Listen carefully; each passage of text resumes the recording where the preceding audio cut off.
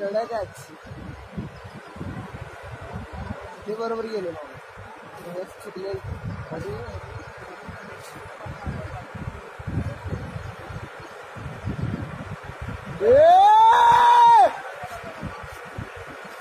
शपथ